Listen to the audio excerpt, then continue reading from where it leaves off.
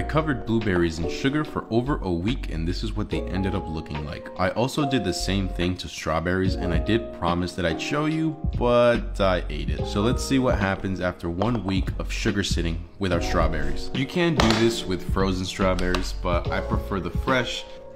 Cut the green booty off, we don't want none of that. Oh, and did you know that strawberries are the only fruit that has its seeds on the outside? What a weirdo fruit. Layer your berries into the jar like it's lasagna. Berries in, the sugar goes on top. Berries in one more time, and the sugar goes right on top. I like to muddle them a little bit just to release more flavor. And now we'll see you in uh, one week. As you know, part twos are banned from this channel, so here you go. It looks totally different. All the juices are pulled out. The berries have also shrunk a little bit. Can't let this go for one more week or maybe even a month, but I prefer the flavor after about one week.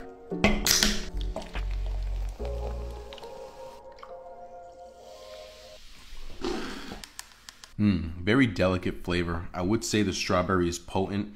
Uh, just add more syrup if you like that flavor, but it is so delicious. Make yourself some of this. It's really fun.